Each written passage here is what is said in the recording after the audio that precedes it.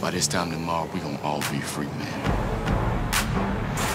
This plan is dangerous. Everything we do is dangerous. Underground, season premiere, Wednesday, March 8th on WGN America.